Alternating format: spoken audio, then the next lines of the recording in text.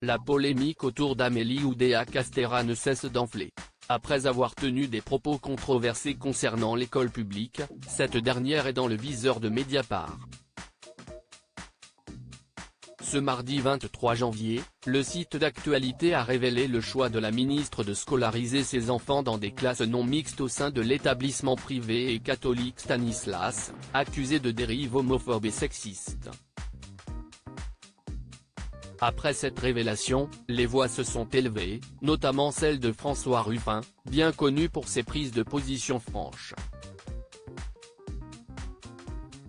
Interrogé par Sud Radio ce mercredi 24 janvier, le député Picardie debout n'a pas mâché ses mots, je ne savais même pas que cela pouvait encore exister dans notre pays en vérité, a-t-il commencé, avant d'ajouter, ironiquement, là, c'est comme Back to the Future quoi.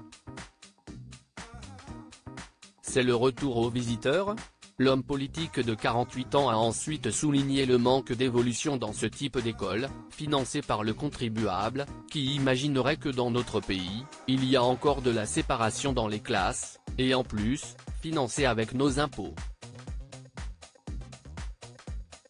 Qui sont les ministres du gouvernement Attal? Les propos de François Ruffin soulèvent à juste titre la question de la mixité dans les établissements scolaires.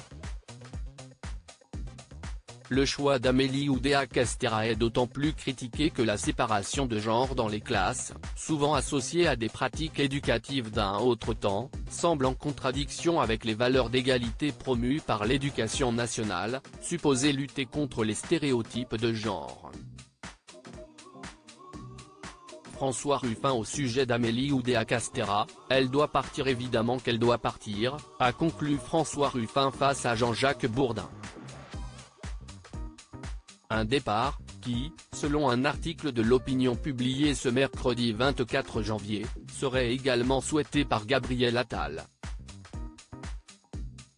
Invité de l'interview des 4 vérités, dans l'émission Télématin, sur France 2 le 17 janvier dernier, Amélie Oudéa Castera avait d'ailleurs déclaré avoir pensé à démissionner après ses propos sur la scolarisation d'un de ses fils du public vers le privé.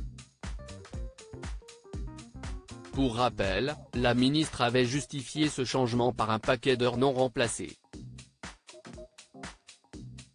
Une déclaration largement critiquée, perçue par beaucoup comme un manque de confiance envers le système éducatif public qu'elle est censée représenter et défendre.